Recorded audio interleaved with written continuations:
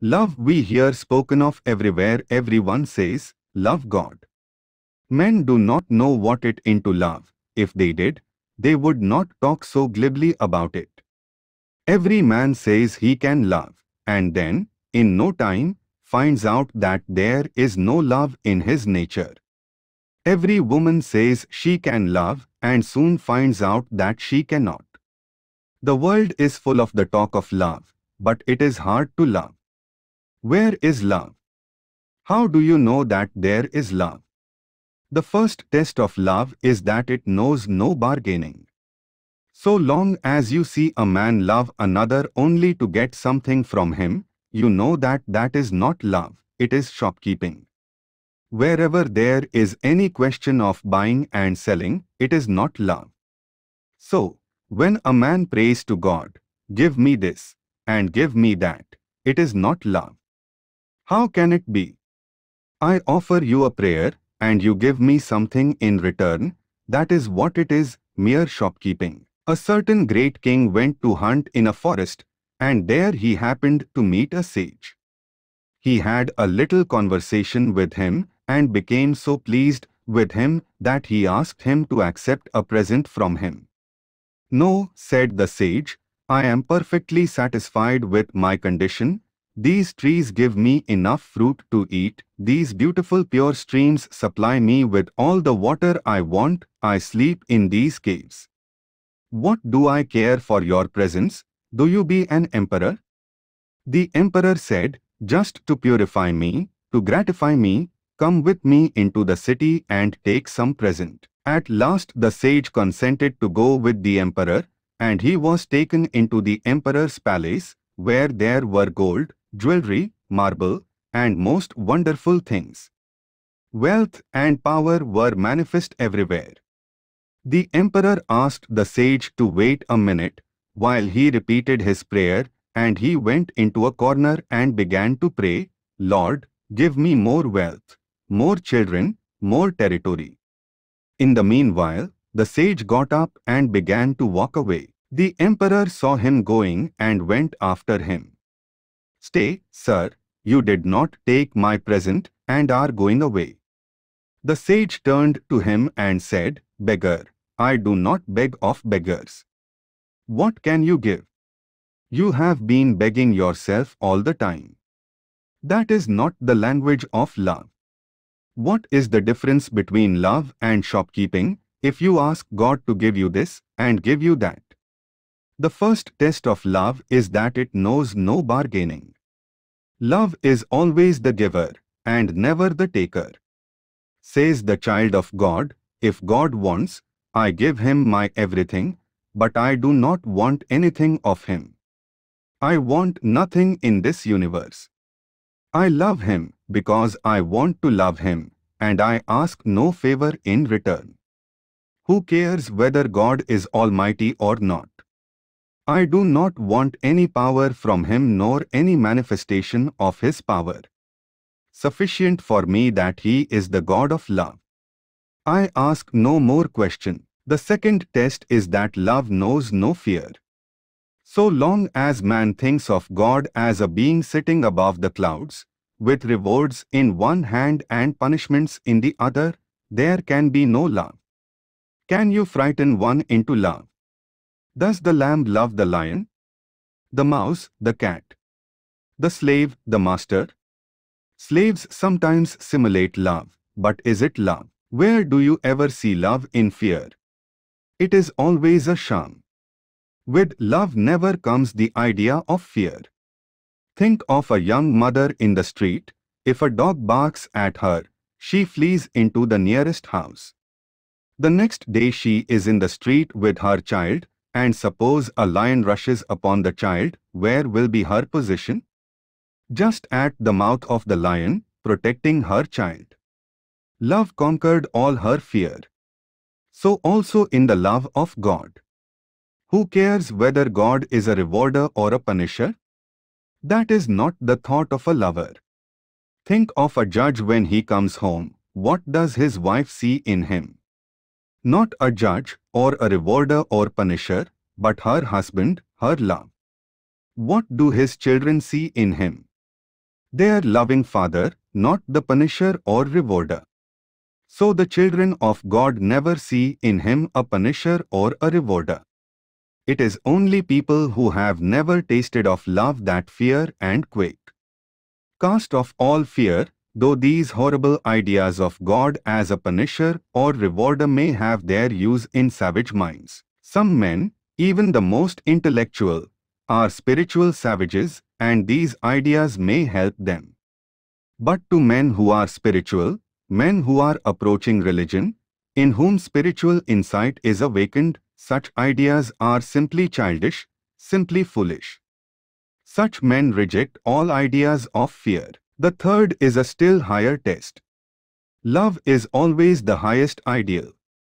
When one has passed through the first two stages, when one has thrown off all shopkeeping and cast off all fear, one then begins to realize that love is always the highest ideal. How many times in this world we see a beautiful woman loving an ugly man? How many times we see a handsome man loving an ugly woman? What is the attraction? Lookers on only see the ugly man or the ugly woman, but not so the lover, to the lover the beloved is the most beautiful being that ever existed. How is it? The woman who loves the ugly man takes, as it were, the ideal of beauty which is in her own mind and projects it on this ugly man, and what she worships and loves is not the ugly man, but her own ideal. That man is, as it were, only the suggestion, and upon that suggestion she throws her own ideal and covers it, and it becomes her object of worship. Now, this applies in every case where we love. Many of us have very ordinary looking brothers or sisters, yet the very idea of their being brothers or sisters makes them beautiful to us. The philosophy in the background is that each one projects his own ideal and worships that. This external world is only the world of suggestion. All that we see, we project out of our own minds. A grain of sand gets washed into the shell of an oyster and irritates it. The irritation produces a secretion in the oyster, which covers the grain of sand and the beautiful pearl is the result. Similarly, external things furnish us with suggestions, over which we project our own ideals and make our objects. The wicked see this world as a perfect hell, and the good as a perfect heaven. Lovers see this world as full of love, and haters as full of hatred, fighters see nothing but strife, and the peaceful nothing but peace. The perfect man sees nothing but God. So we always worship our highest ideal, and when we have reached the point when we love the ideal as the ideal, all arguments and doubts vanish forever. Who cares whether God can be demonstrated or not? The ideal can never go, because it is a part of my own nature. I shall only question the ideal when I question my own existence, and as I cannot question the one, I cannot question the other. Who cares whether God can be almighty and all-merciful at the same time or not? Who cares whether he is the rewarder of mankind, whether he looks at us with the eyes of a tyrant or with the eyes of a beneficent monarch? The lover has passed beyond all these things, beyond rewards and punishments, beyond fears and doubts, beyond scientific or any other demonstration. Sufficient unto him is the ideal of love, and is it not self-evident that this universe is but a manifestation of this love? What is it that makes atoms unite with atoms, molecules with molecules, and causes planets to fly towards each other?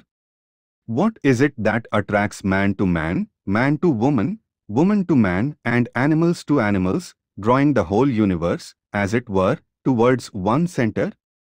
It is what is called love. Its manifestation is from the lowest atom to the highest being, omnipotent, all-pervading, is this love. What manifests itself as attraction in the sentient and the insentient, in the particular and in the universal, is the love of God.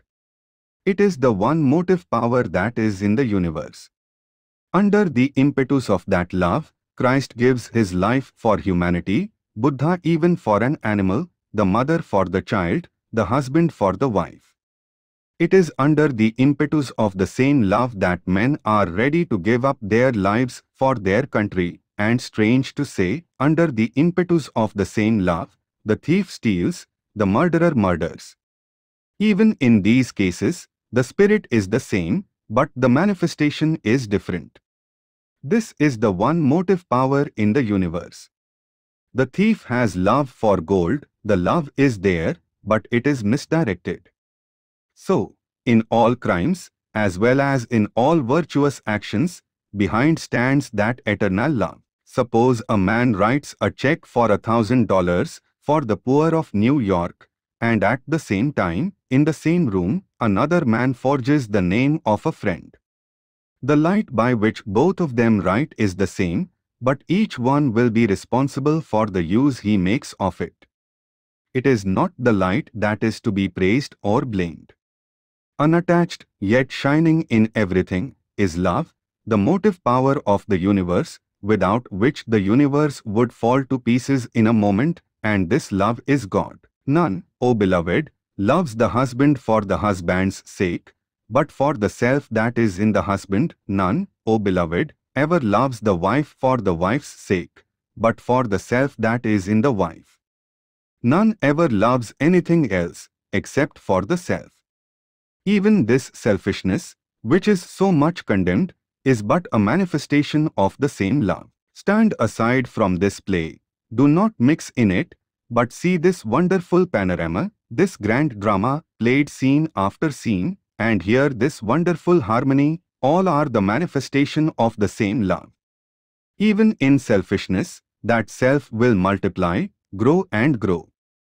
That one self, the one man, will become two selves when he gets married, several, when he gets children, and thus he grows until he feels the whole world as his self, the whole universe as his self. He expands into one mass of universal love, infinite love, the love that is God. Thus we come to what is called supreme bhakti, supreme devotion, in which forms and symbols fall off. One who has reached that cannot belong to any sect, for all sects are in him. To what shall he belong? For all churches and temples are in him. Where is the church big enough for him? Such a man cannot bind himself down to certain limited forms. Where is the limit for unlimited love, with which he has become one? In all religions which take up this ideal of love, we find the struggle to express it. Although we understand what this love means and see that everything in this world of affections and attractions is a manifestation of that infinite love, the expression of which has been attempted by sages and saints of different nations, yet we find them using all the powers of language, transfiguring even the most carnal expression into the divine. Thus sang the royal Hebrew sage, thus sang they of India. O beloved, one kiss of thy lips. Kissed by thee, one's thirst for thee increaseth for ever. All sorrows cease, one forgets the past, present, and future, and only thinks of thee alone. That is the madness of the lover, when all desires have vanished. Who cares for salvation? Who cares to be saved? Who cares to be perfect even? Who cares for freedom? says the lover. I do not want wealth, nor even health. I do not want beauty. I do not want intellect. Let me be born again and again, amid all the evils that are in the world. I will not complain, but let me love thee, and that for love's sake. That is the madness of love which finds expression in these songs. The highest, most expressive, strongest, and most attractive human love is that between man and woman and, therefore, that language was used in expressing the deepest devotion. The madness of this human love was the faintest echo of the mad love of the saints. The true lovers of God want to become mad, inebriated with the love of God, to become God-intoxicated men. They want to drink of the cup of love which has been prepared by the saints and sages of every religion, who have poured their heart's blood into it, and in which have been concentrated all the hopes of those who have loved God without seeking reward, who wanted love for itself only. The reward of love is love, and what a reward it is! It is the only thing that takes off all sorrows, the only cup, by the drinking of which this disease of the world vanishes man becomes divinely mad and forgets that be is man. Lastly, we find that all these various systems, in the end, converge to that one point, that perfect union. We always begin as dualists. God is a separate being, and I am a separate being. Love comes between, and man begins to approach God, and God, as it were, begins to approach man. Man takes up all the various relationships of life, as father, mother, friend, or lover, and the last point is reached when he becomes one with the object of worship. I am you, and you are I, and worshipping you, I worship myself, and in worshipping myself, I worship you. There we find the highest culmination of that with which man begins. At the beginning it was love for the self, but the claims of the little self made love selfish, at the end came the full blaze of light, when that self had become the infinite. That God who at first was a being somewhere, became resolved, as it were, into infinite love. Man himself was also transformed. He was approaching God. He was throwing off all vain desires, of which he was full before. With desires vanished selfishness, and at the apex, he found that love, lover, and beloved were one.